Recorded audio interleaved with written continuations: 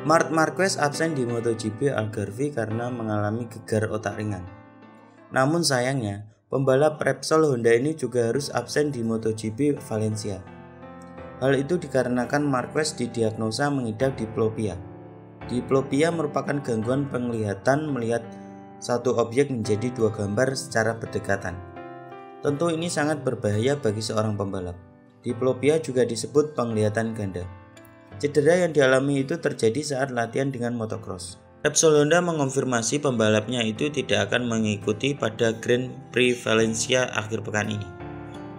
Begitu pula pada tes Jerez yang dijadwalkan pada 18 dan 19 November. Juara dunia 8 kali itu sekarang hanya bisa fokus menjalani pemulihan di rumahnya.